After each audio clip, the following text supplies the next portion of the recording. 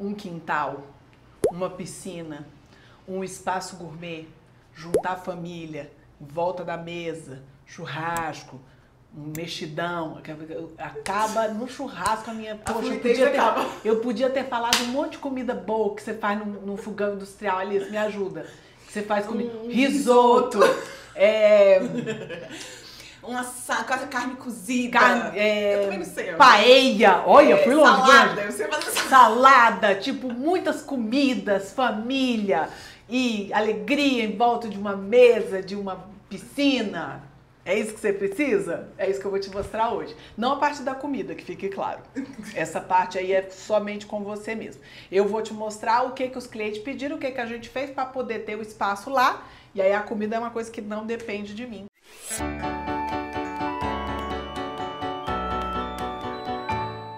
Sabe quando você percebe que o seu trabalho é bem feito? Quando você percebe que assim, tudo que você está construindo na sua carreira profissional vale a pena, sabe quando é?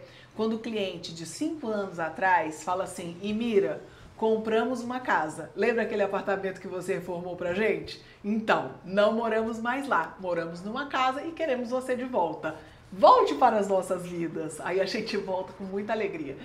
E aí a ideia é a seguinte, uma casa linda, ótima, maravilhosa, sem um espaço gourmet. Então o que, que eles chamaram o Estúdio para fazer o quê? Para fazer um espaço gourmet. Nada muito extravagante, nada muito grande. A gente precisa basicamente de uma nova construção que tenha uma churrasqueira, uma bancada, um fogão industrial, informação importante, mesa para galera sentar. Isso tudo de frente para a piscina que já está lá. Quer dizer, nada muito complexo. É uma construção, mas é uma construção simples, mas não por isso uma construção xoxa uma construção sem graça, uma construção.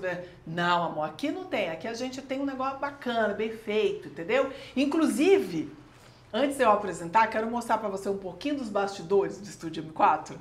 Como nasce uma churrasqueira? Eu gravei. Mentira, não fui eu, Alice, foi o Pedro. O Pedro que teve a ideia. Estava eu e Pedro, estagiário do Estúdio M4, trabalhando em cima desse projeto. E aí, como é que nasce? Sai da onde? do dedinho de Mira. E Mira pega na caneta e Mira desenha. É, sou uma grande desenhista? Nunca falei isso. Não, não coloque palavras na minha boca. Porém, tem um negócio que ele só nasce na mão. Não estava nascendo, não tinha nascido ainda. Tá? Não tinha nascido. E aí tô com o Pedro ali, e aí desenha pra cá, desenha pra lá. Veja, Pedro, isso aqui não tá bom, isso tá feio, isso tá ruim. Ó. Aí a gente chega pra cá, chega pra lá, testa, desenhou, testa na maquete, não sei o que, fala, não, Pedro, assim não assado, tarará. E eis que nasce uma arquitetura. Aí, pronto, aí nasceu, aí eu falo assim, pronto, agora continua que eu vou terminar outras coisas que eu tenho pra fazer ali. Aí depois Pedro senta comigo de novo e assim a gente vai. O que que a gente fez? posicionamos todas as funções técnicas, não exatamente técnicas, mas as funções da, da, churrasqueira lá no fundo, que é a parede, inclusive, que está encostada no muro. Então a gente vai ter a geladeira, uma bancadona de apoio, tanto para a geladeira como para a churrasqueira que vem na sequência, para o churrasqueiro ter espaço, ter conforto, distribui ali o negócio do churrasco, distribui ali o arroz, a farofa, a salada. Como a salada, é importante, saudável. E do lado a gente tem o forno, fogão industrial. Fogão industrial de duas bocas. Esse aqui não teve nem o dedinho do Estúdio M4. Foi a cliente que falou assim: é esse aqui que eu quero. Aí a gente fez esse aqui vai pra maquete. Só isso, tá? Posicion... Apenas posicionamos e fizemos com que ele ficasse interessante, porque ele é mais baixo que a bancada e menos profundo. Então a gente cria soluções aqui. Por exemplo, essa, essa base do armário, a gente coloca o fogão em cima para que ele não fique muito mais baixo do que a bancada. Solução boa para a coluna da galera, para ninguém ficar emborcado em cima do fogão, tá bom? Na ilha que temos à frente e que está numa distância de menos de 1,20m da bancada de trás, fica a dica aqui para você, não faça a ilha muito distante da outra bancada. Por quê? Se você tem Olha aí, me encenando, só para aparecer, tá? Tá aqui a bancada, tá? A bancada que eu tô cortando o negócio a carne. Aí eu vou virar para outra bancada. Eu tenho que fazer assim, ó. Saindo do casamento. Fica muito longe, meu anjo, tá? No máximo, 1,10m. Um metro, no máximo, entre uma bancada e outra.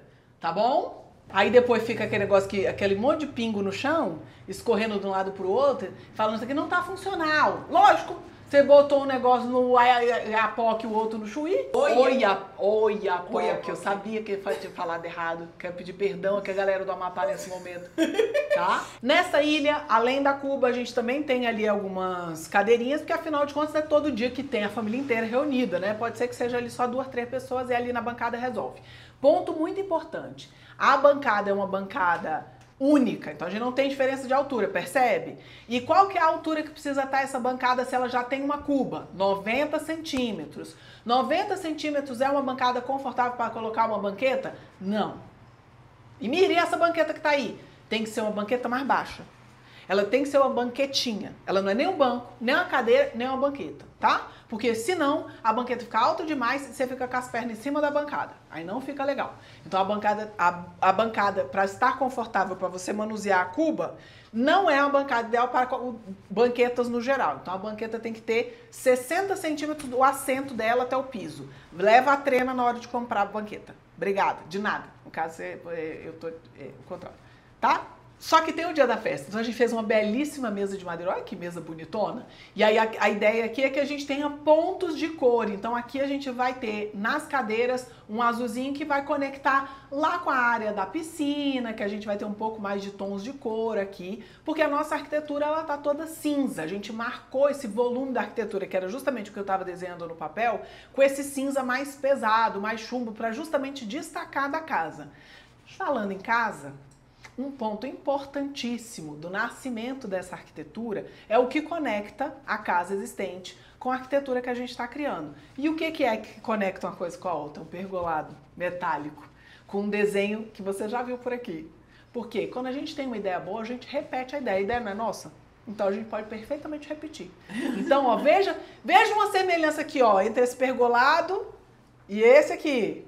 Ah, tá vendo? Pois é, então a gente teve uma ideia boa, meu amor, ela não fica exclusiva para um único projeto. A gente traz para outros projetos também. Só que você veja que é completamente diferente o tamanho, as dimensões do nosso pergolado e a função também. A função desse pergolado do projeto é conectar as duas construções. E aí com isso a gente tem a passagem entre um e outro sem precisar ficar completamente coberta. E a gente também não conecta a construção nova com a construção que já existia, porque isso pode causar é, trinca. Então a gente faz essa peça que é essa conexão, mas a gente também faz um negócio bacana, gostou, interessante, bonito, tá bom? A Licinha pediu para fazer um adendo. Vamos fazer um adendo. Por que, que construir uma peça nova colada numa existente, peça não, caso é construção mesmo, colada numa existente pode dar trinca, pode dar problema. Por quê? Porque a gente tem uma construção que está finalizada e essa nova construção ela não vai encaixar, ela não vai entrar na construção existente. Eu tenho uma laje aqui, se eu encosto a outra laje aqui, essa vai se mexer de um jeito que a gente fala trabalhar e essa vai trabalhar de outro jeito. Se essa dilata diferente dessa aqui, já vai causar uma trinca nesse encontro. E vai ter sempre ali uma trinquinha chata, a não ser que a gente amarre uma estrutura na outra internamente. Então é como se eu tivesse pegando a parte interna do concreto, que são aqueles ferros que a gente tem dentro do concreto, e amarrasse com os ferros da nova construção. Aí elas passam a ser uma peça única, trabalhando da mesma forma, e aí a gente não tem mais a trinca. Eu não vou fazer isso, a, a estrutura já está lá. Então o que, que eu faço? Peças separadas e crio uma conexão entre elas com outro material. Aí, amor, não tem problema de trinca, porque já vai ser uma peça diferente, já vai ser, vai ter um silicone entre um e outro, então já não vai ter problema, porque elas já são peças diferentes. Do lado da frente do nosso novo espaço gourmet, a única coisa que a gente fez aqui é criar mobiliário, criar um espaço agradável na piscina que já estava lá. Veja, já estava lá. O que a gente fez foi criar um acabamento, trazer um pouquinho de verde, fazer uma ornamentação para esse espaço para que ele fique realmente bastante agradável, bastante gostoso quando a churrasqueira for construída. Muito importante que você saiba disso quando você contratar o Estúdio M4, essa vai ser uma das primeiras coisas que eu vou te falar. Não! Não é apenas da cabecinha de Emira que nascem essas coisas lindas que você vê aqui nesse canal. Aliás, tem muitas coisas lindas que aparecem nesse canal aqui que a única coisa que eu faço é aplaudir a minha equipe. De camarote, falando, meu trabalho foi bem feito. Olha que coisa linda. Só precisei falar, tá lindo. Às vezes a minha colaboração no projeto é dizer que tá lindo e apresentar para os clientes, tá? Porque tem uma equipe massa. Então, sim, quando você contratar a gente, não vai ficar o tempo todo trocando ideia com Mirinha, não. Você provavelmente vai trocar mais ideia com a minha equipe do que comigo. Mas eu tô sempre lá, como você pode ver, por trás, coordenando todos os andamentos. Muito importante essa informação, tá? Porque aqui toda a produção do nosso trabalho acontece a partir de várias cabeças pensantes. Algumas bem mais espertas do que a minha própria. tá bom? Aqui também é bom, Alice, para as pessoas verem que eu sou um pouco séria. Que o povo acha que eu sou. É, Essa palhaça. essa, pa- essa personalidade Quando, aqui do quando canal. fala action, meu amor, vem a palhacita. Vem um negócio aqui, um, um trem baixo A sangue. palhacita vem. Mas no dia a dia, tem a piada? Tem a piada, que isso aqui sou eu, tá? Isso aqui não é um personagem. Mas com nove anos, um personagem, não tem ser humano que dê conta. Mas também não é pra ser assim o tempo inteiro, senão não tinha uma pessoa que tinha ficado aqui no estúdio M4. Tem condição da pessoa trabalhar 40 horas por semana do lado de um ser humano que é assim. Não, não, não. Então isso aqui é uma lente de aumento na minha personalidade, mas eu sou um pouco séria. Às vezes eu sou bastante séria. Às vezes, menina, eu sento ali, preciso encher o potinho do carisma, ninguém fala comigo. Eu não falo com ninguém, tá? Este vídeo, Alicinha, é uma homenagem aos meus clientes. Sabe por quê? Porque infelizmente eles precisaram pausar esse projeto. Foi uma situação única aqui no escritório. Por questões absolutamente pessoais, eles precisaram pausar o projeto. E eu estou colocando esse projeto aqui no canal para fazer uma homenagem a vocês, porque vocês merecem, são pessoas maravilhosas e porque eu torço muito de que vocês de fato consigam concretizar o sonho de vocês e contem sempre com a gente para que isso aconteça. Talvez eu esteja emocionada aqui agora. Um beijo, viu, queridos? Vocês são maravilhosos. Eu nem sei o que é, também já.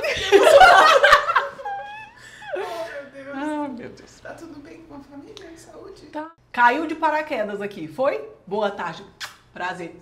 E Mira de Holanda, é arquiteta. Este canal e este escritório aqui chama Estúdio M4 Arquitetura.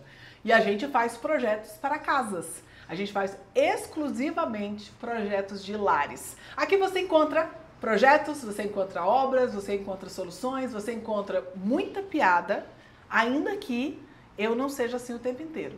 Né? Porque ficou claro já nesse vídeo de Ainda que também, às vezes, a piada não seja muito boa. Às vezes que a piada também não a piada. seja boa. Não tô, não tô prometendo um canal de humor. Não foi isso, não. É só leveza, porque de chata já basta a vida. Então dá um like pra mim, se inscreve no canal. Por hoje até a próxima. Toda segunda-feira tem vídeo. Tchau. Tchau!